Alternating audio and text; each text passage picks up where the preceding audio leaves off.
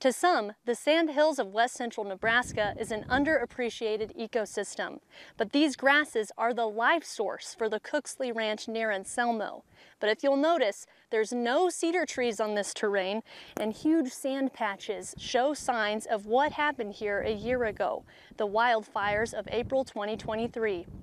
If I could wave a magic wand and make it not happen without any question, it would not happen. Sparks from railroad tracks and lightning set ablaze 40,000 acres and 90% of the Cooksley Ranch's summer range. So within that is back to that optimistic, show me what I got, figure out what you've got, and then figure out how you're going to utilize it. The flames took out 20,000 fence posts, leaving the Cooksley Ranch with a million dollar bill to replace them. We've had a lot of these fences have been burned quite a few times. And we've never seen this kind of damage. The Cooksley Ranch property was divided into squares in the early 1900s. The wildfires forced them to consider where to replace 50 miles of burned fence line. Uh, you know, we wanted to use it more like the bison had done in the past.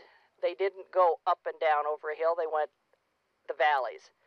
They're working on the federal level to get flexibility with defining fencing parameters. Another project, replenishing 4,000 feet of burned shelter belt trees.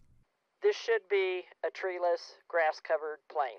But some trees are still useful to shade cattle. The Cooksleys said the cattle mostly ignored the burned areas, but during calving season, they relied on man made shades to block the wind. The Cooksleys replanted juniper trees and shrubs. The young Cooksley crew that's in the yard.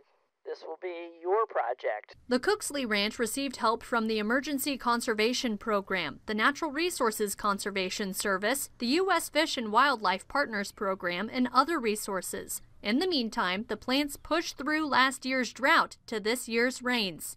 But it's, it's nice to see an ecosystem like this where it's responding, where you're taking care of it, George Cooksley said the wildfires even made him consider more prescribed burns that lessen the intensity of unplanned fires. Go after it because my experience with wildfires had made me negative fire. Now I'm just negative wildfire. In the end, the aftermath lit a fire in many ranchers to continue being stewards of the land not just for the cattle, the families and the communities that call them home, but these grasslands do so much to benefit us all through cleaning our water, cleaning our air, and giving us the healthy soil we need. For Pure Nebraska, I'm Grace McDonald.